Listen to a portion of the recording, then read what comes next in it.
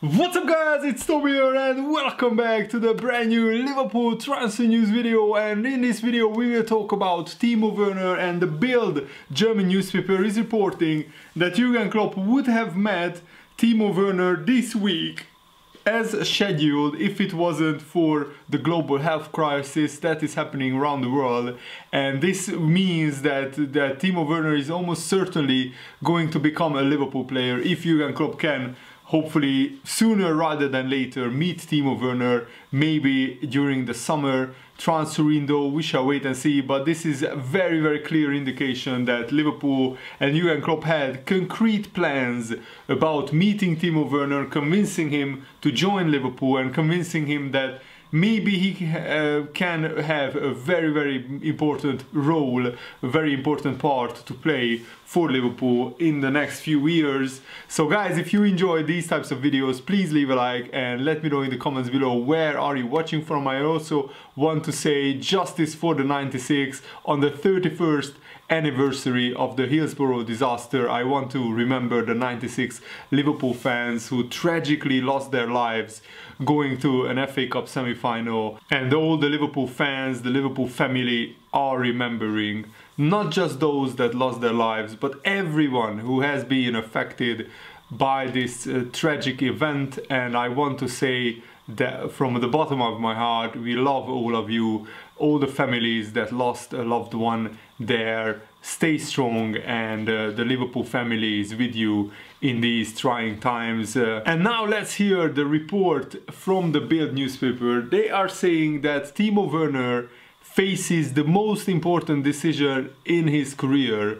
Change clubs or stay at uh, RB Leipzig. And this is an article about how Jurgen Klopp wanted to convince Timo Werner to come to Liverpool. FC Bayern are considered to be interested in uh, signing the RB Leipzig striker, but so far there has been no decision coming from Munich to intensify efforts for him. But Liverpool FC is different as it seems only because of the health crisis that is the only thing st that stopping Jurgen Klopp from uh, meeting Timo Werner in person and convincing him to join Liverpool. But I think he can do it through video chat. Maybe they should uh, ask Timo Werner to join in one of the Zoom sessions that uh, the older players and the manager is having every morning and Liverpool have been sharing that on their uh, Twitter account and I had a lot of fun watching those those Zoom sessions from uh, Liverpool FC because they are really really funny especially when everybody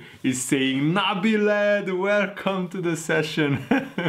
And uh, Virgil van Dijk so calling Sadio Mane Sadio Main which I found it very funny as well. So according to some insider information from Sport Bild Jurgen Klopp's desire to sign Timo Werner is greater than ever. Already on February the 12th, the Bild reported that um, that Jurgen Klopp uh, really really wanted to sign Timo, uh, Timo Werner. And now it goes one step further because Jurgen Klopp always wants to meet players. He wants to sign up personally in advance. Before they come to Liverpool he wants to meet them in person have a one-to-one -one chat and basically describe his plans for Liverpool going forward and also he wants to hear what the individual has to say about their plans, their goals, their future aspirations in their football career and also he wants to get to know them in person. He wants to have that one-to-one -one interaction, one-to-one -one conversation because that's always the most personal. Meeting in person is much more personal than having a phone conversation or, or just a, a chat. But I think that in these in these times, of course, we are on, in uncharted territory. So sometimes you have to go with the times and just Jurgen Klopp should just call up Timo Werner on a video chat and and hopefully they can have a personal one-to-one conversation there because there it's not possible to do it any other way. And I think Jurgen Klopp should do it sooner rather than later because apparently the Bild is saying Timo Werner is still undecided on where to go, what to do with his career. No final decision about his future future has yet to be has yet been made and it is clear that FC Bayern also and Liverpool and other clubs should not wait too long um, to convince or to try to convince Timo Werner to come to their club. Which plan Jurgen Klopp has with Timo Werner, where he should find a, a place in the Liverpool squad, in the Liverpool starting 11, and which method he will choose to convince Timo Werner to come to Liverpool. That's the big that's the big question, and I think that uh, that Jurgen Klopp would have already convinced Jurgen Werner to sign for Liverpool if he already met him in person. But as I said, the, there is very much a lot of uncertainty around football right now, not just because of the financial implications of this crisis, but also because nobody knows when the Premier League can restart, when the Premier League season can be finished, when the transfer window can start. In Germany, for example, there are plans that the Bundesliga might restart in uh, the middle of May.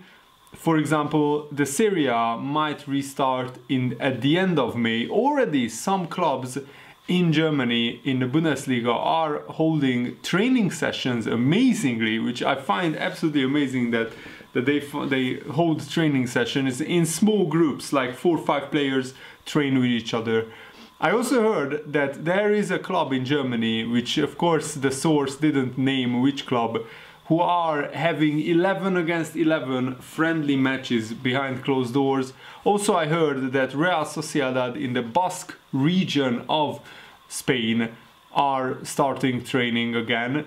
Of course that region is not as heavily affected as the Madrid region or the Barcelona region in Spain, but still it's quite weird to see that in Spain there are still like 500, 600, sometimes even 700 people dying every day and footballers are just training up up in a Sociedad. That's a little bit weird and of course it's very unusual for me to see but that's their decision and I'm not sure if it's allowed or not. I'm not sure what the government has um, as a recommendation but I think so far what we know is that Liverpool won't be able to restart the Premier League season until June. I think the earliest plans in England is to restart the Premier League in June. So possibly we could finish the season in July or August. And that's when hopefully Jurgen Klopp will be able to meet Timo Werner. But what if the travel restrictions, the travel ban, is uh, extended throughout the whole year? then you would not be able to do Champions League football, Europa League football. You would not be able to do any transfers even, because for a transfer to go through, you have to travel internationally. Otherwise, it's not possible. So it's it's so so weird, so unprecedented, and so unusual.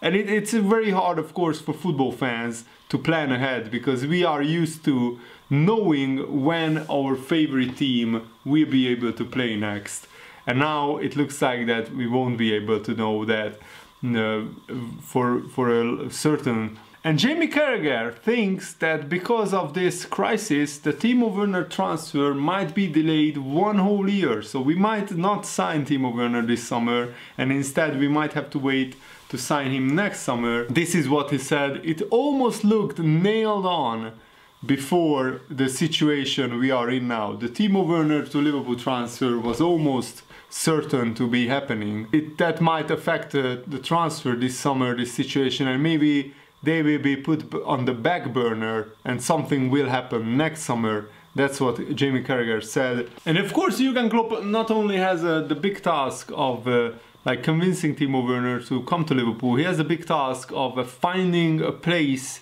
in the Liverpool starting 11 and I think that will be a lot easier uh, in reality than in theory because in theory Timo Werner will be only a bench player at Liverpool because nobody can say that he he deserves to start ahead of Firmino, Salah or Mane. That front three has been absolutely incredible for Liverpool for like two years now, constantly playing at the highest level possible. I mean, we won the Champions League last season.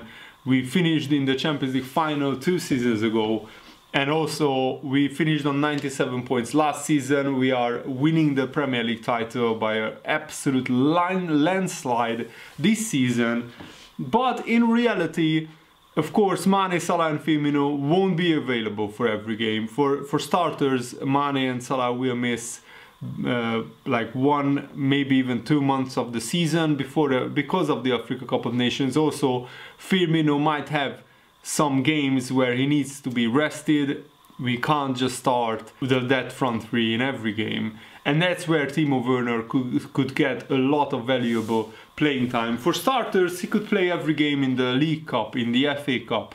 That's already seven, eight games uh, optimistically uh, in total throughout the season. Plus, he might have another seven or eight Premier League starts to make when Mane and Salah will not be available. And then when Jurgen Klopp wants to rest Firmino or he wants to give a breather to Mane or Salah or one of them gets injured, that's when Timo Werner will be nailed on in the starting level. So easily Timo Werner could have 15-20 starts as a Liverpool player next season plus he could have another 20-25 appearances off the bench and it's very, very important for Liverpool to sign him, in my opinion, because for 50 million it's an absolute bargain. And also, one of the journalists uh, working for Bild say, says that the, the release clause will be extended until June the 15th.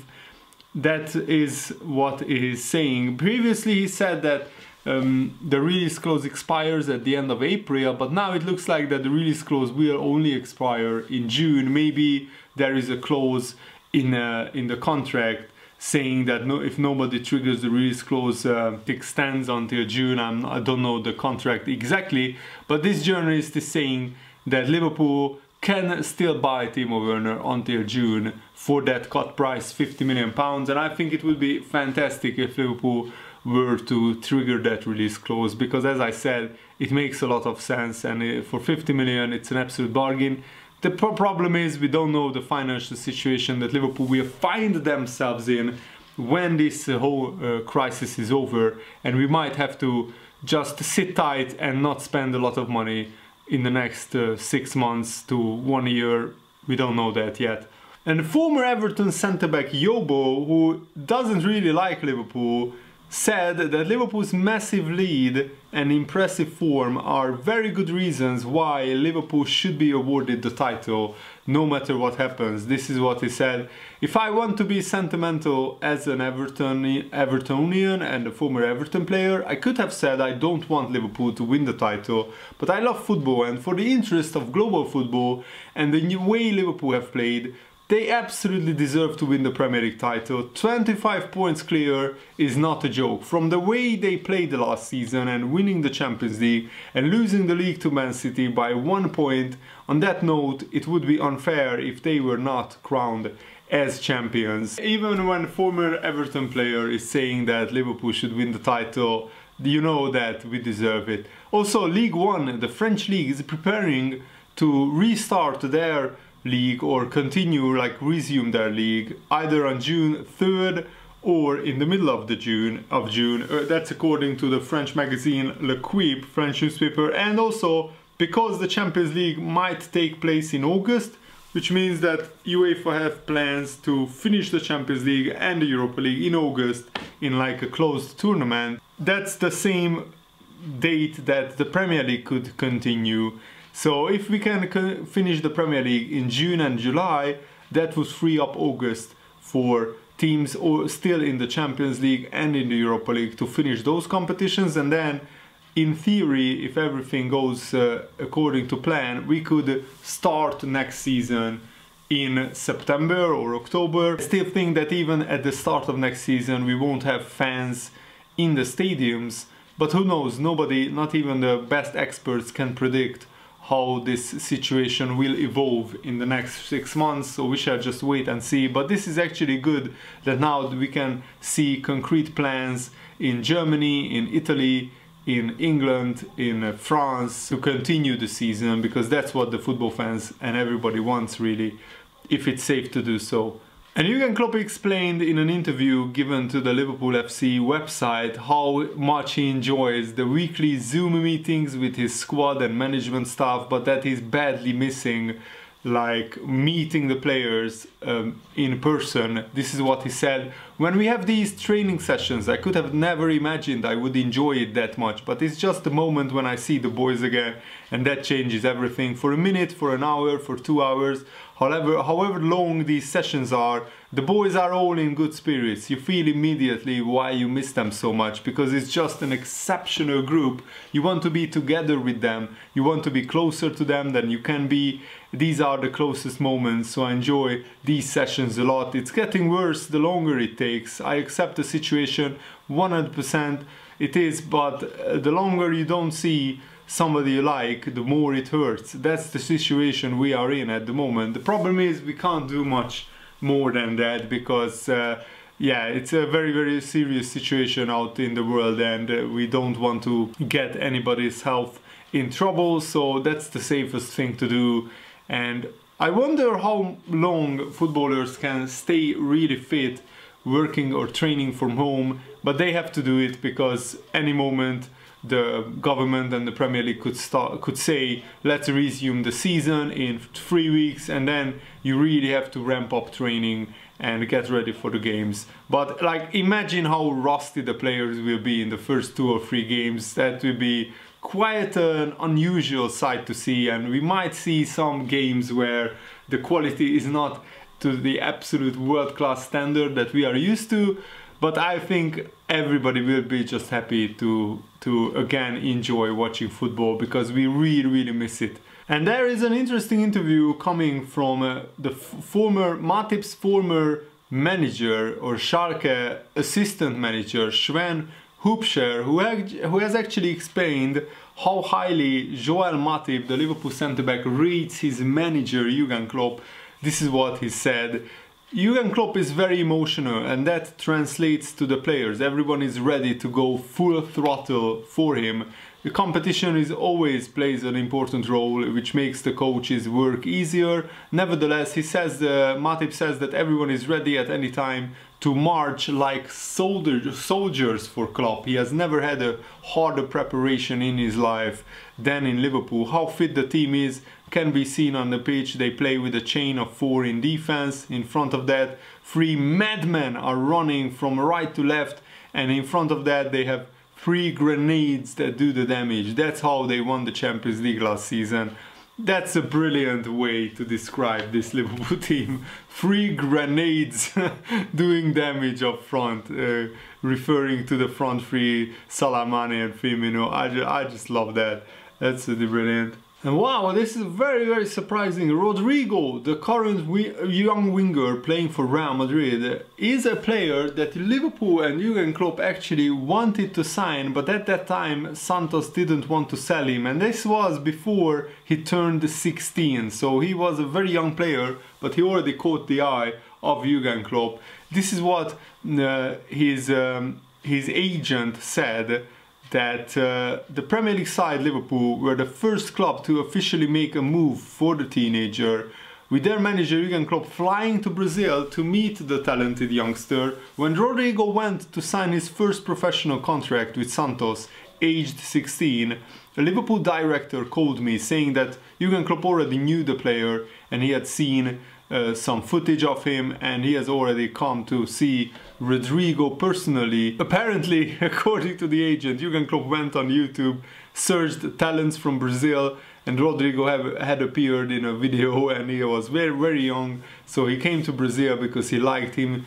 They contacted me they contacted me the Liverpool director wanted him to be his first signing Rodrygo. I went to England I sat in London Liverpool have an office in London. I brought the proposal to Modesto, uh, who was the president of Santos at that time, but the president didn't accept. It turned out that Santos didn't want to sell Rodrygo and instead he signed his first professional contract at Santos. But it was Rodrygo's first official proposal at the age of 16 and it was Liverpool. I'm not sure how legit this story is, but it's it's rather interesting, so I wanted to share it with you guys. In the end, I don't think Liverpool would be would have been able to sign him because Rodrygo, in the end went with taxes on top for a combined total of 47 million pounds. That was the final transfer fee for Real Madrid, which is an absolute crazy amount for a rather unproven player who was already who was only excelling in South America. And he signed for Real Madrid like at 17 or 18 years old. So an absolutely incredible transfer. To pay that amount for a kind of unproven player I don't think Liverpool would have done that. But I still wanted to share this story with you guys. I really hope you guys enjoyed it. Thanks for watching. Have a nice day. See you later. Goodbye